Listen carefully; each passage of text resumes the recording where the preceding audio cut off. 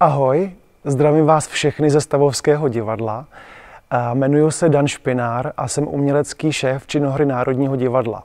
A jako takový mám velmi silnou nutkavou potřebu eh, podpořit nezávislou divadelní scénu. Proto vás prosím, podpořte na hit hitu divadlo Bravo, které právě nově vzniká. Je skvělé, že v husté divadelní pražské síti se objevuje divadlo, které důsledně propojuje pantomimu a akrobaci.